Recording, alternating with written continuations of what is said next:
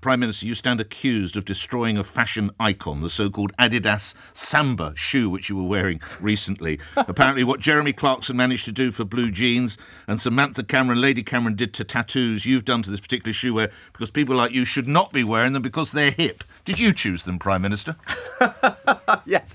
Um, well, first of all, I just issue a fulsome apology to the Samba community. Um, but in my in my in my defence, I would say I have been wearing Adidas trainers and Sambas and others, in fact, for many many years. Uh, actually, the first pair my brother got for me many many years ago.